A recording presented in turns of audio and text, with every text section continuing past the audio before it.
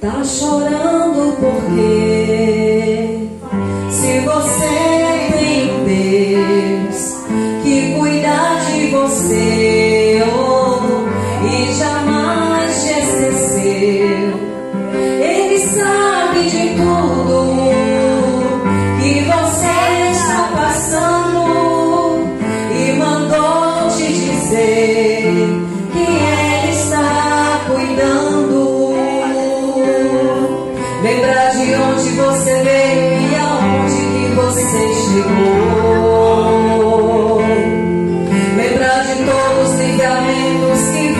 você já passou.